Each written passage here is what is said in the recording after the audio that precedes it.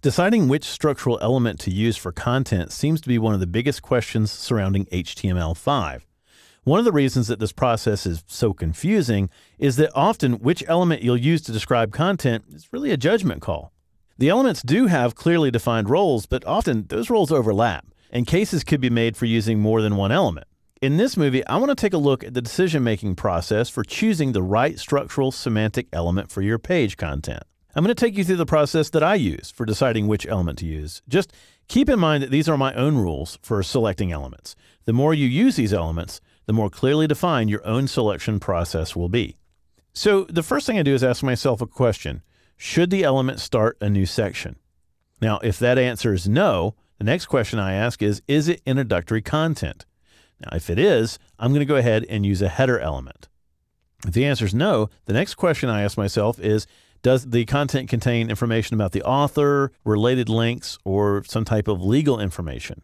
And if that's the case, then I'll be using a footer element. Now, keep in mind, footer elements don't have to be at the bottom of the page and they don't have to contain just the content that you've listed here most of the time kind of understand what the footer of a section is, but it's worth stating those questions aloud to yourself so that you're being consistent with it.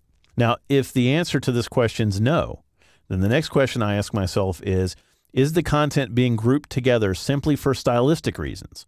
Or to extend its meaning further through an ID or class attribute? And if the answer to that is yes, then I'm going to use a div tag. If I'm just grouping it together, for example, for programmatically making a tab out of it with jQuery, or if I just need a certain section to have a background color, but semantically it doesn't need to be grouped together for any one particular reason, then a div tag works really, really well for that. Now, if the answer to this question is also no, then I'm saying, okay, this is not sectioning content. I need to find the appropriate grouping content element. So obviously, I was wrong about it being sectioning content in the first place, and it's time to use something else, for example, a block quote tag or something of that nature.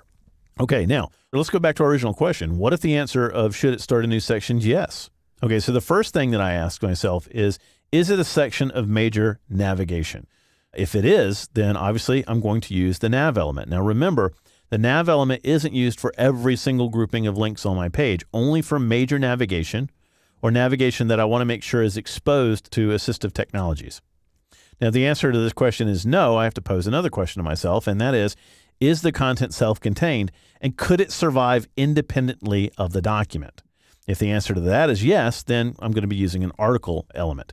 Now, keep in mind the important part of this to me is the self contained and independent nature of it, meaning, can I syndicate this? Not necessarily am I going to syndicate it, but could I syndicate it?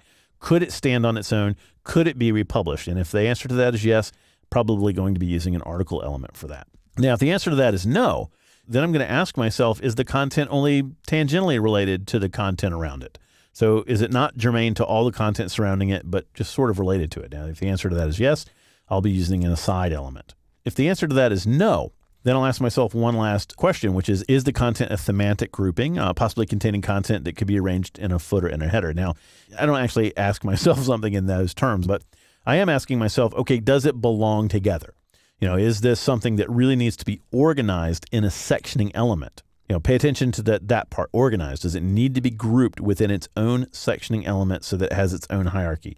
If that's the case, then I'm going to be using a sectioning element for that. Now, if it's not the case, if it doesn't need to be grouped together, if the answer for that is no, then all I really need to do is use a heading to go ahead and create that implicit section if it doesn't need that internal structure.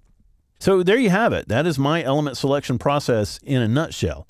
Now, of course, sometimes it's really obvious as to which element you're going to use, but in other cases, the content could be a little bit more ambiguous. And in those instances, it's really good to have a selection process of your own, like this one, which is going to lead you to using these semantic tags consistently. Your process may differ than mine. I know several web designers that I have an amazing amount of respect for that use the article element far more frequently than I do. So, you know, the barrier for using that is lower for those guys. Now, in the end, what matters is that your content is described in the most accurate semantic terms, and, and this is probably more importantly, that you're using the elements consistently across your site or across your application.